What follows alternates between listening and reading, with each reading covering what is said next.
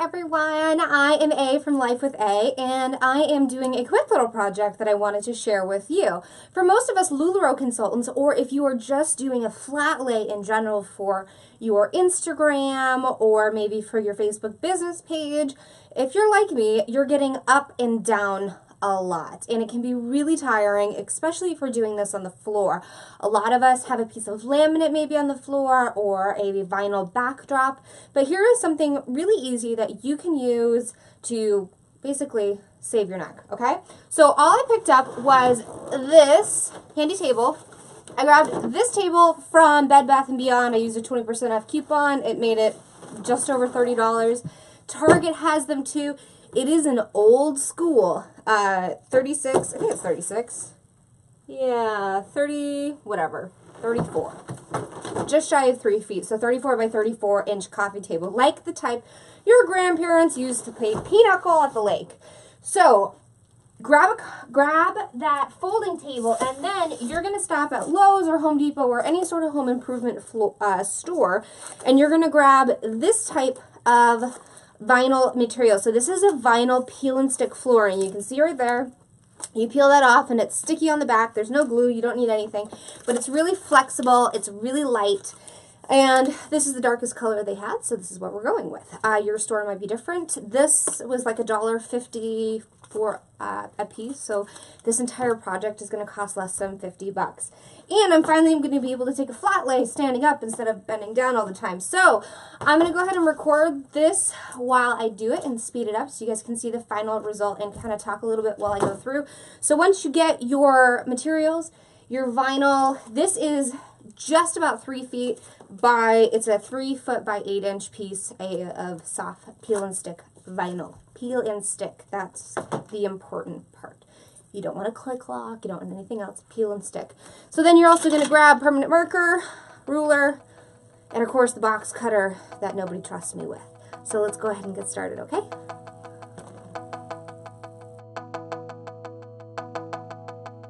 Okay, so what I want to make note is, as we're doing this, I want to show you. Here is the top of my table, right? And you guys can see my, my mess. So here's the top of the table. This is, this is what I want you to think about while you're doing this.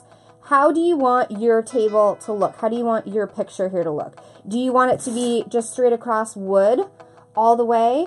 Or do you want it to have kind of this layered approach? And that's what I'm going to do. So I'm going to start out with my first piece of vinyl, kind of over here on this side. I'm going to leave it so that as I continue up, I'll stack my vinyl so that it gives really that natural wood floor look as it goes across the table.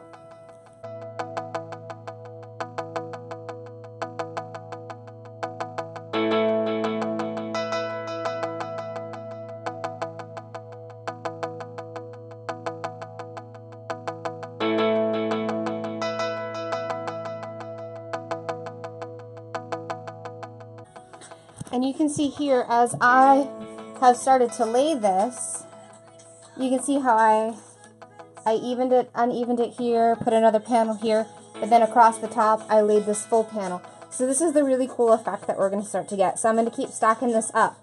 And tip when you're doing this, you can see each end here is really jagged. Don't worry about that. I overlaid it. You want to overlay it on every corner, right? Because you can see this line here on my table. I want to make sure that I can run my knife along the inside and trim all this excess off and it'll make it look really neat.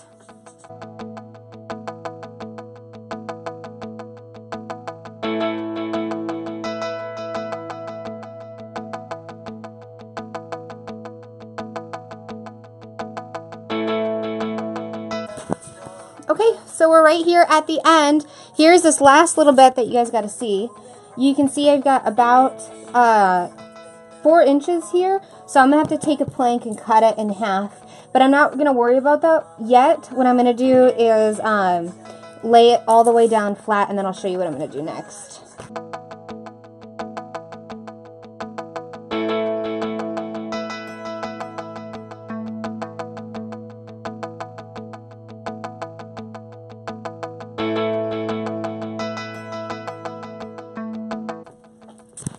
I want to show you how easy this is to cut.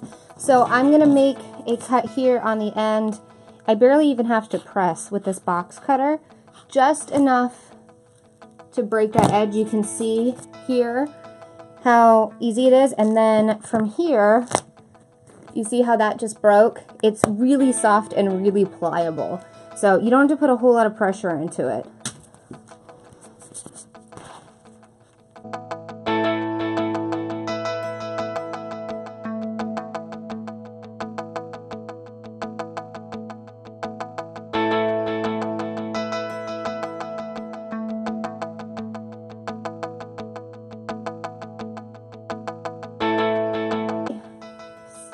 Okay, so here we go. Um, here is the final table. It's a little rough, still around the edges. I want to show you.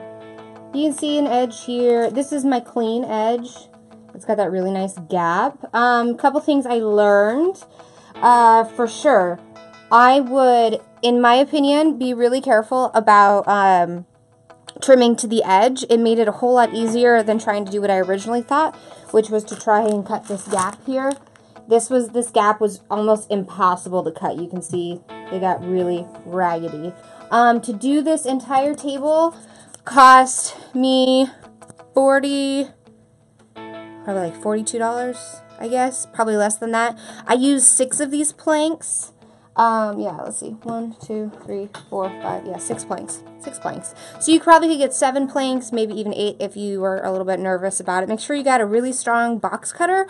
Um, I'm going to put some pictures here at the end for you to take a look at. But I think it turned out super good. And I'm really happy with the height of this card table.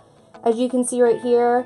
Um, it turned out really nice. It gives me just enough to uh, photograph my leggings, just enough to get high enough to actually photograph an entire outfit. Like I said, I will put pictures at the end. I hope this was helpful, and uh, if you guys end up doing your own tables, let me know. Put it in the comments below. And hopefully, if not, it sparked an idea for you. All right, I'll talk to you guys later. Have a good one.